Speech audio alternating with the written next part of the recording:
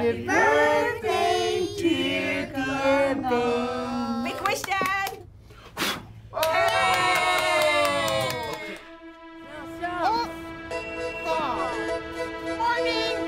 Morning. Now, what else are we celebrating today?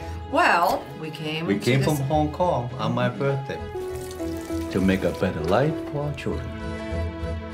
None of this would have happened if I hadn't met your mother. I wasn't worthy of you then, and I'm still not worthy of you now.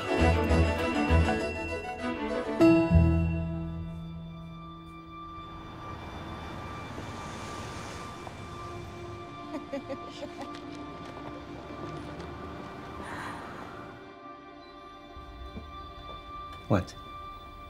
What? Nothing.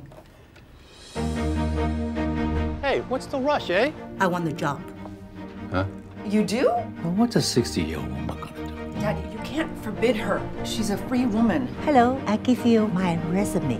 Can you answer phones? Please hold. Uh, hold on a second, I'm sorry.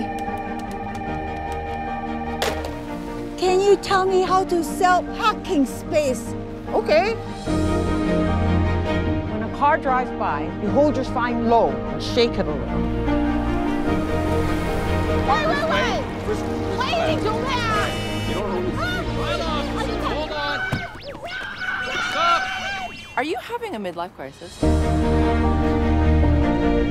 You see the Braca? Forodeca. Put your foot on the pedal, push forward. Ah! Look at you! How do I stop? First, we obey our fathers, then our husbands. When they're gone, we obey our sons. I don't listen to nobody. And nobody is listening to you either.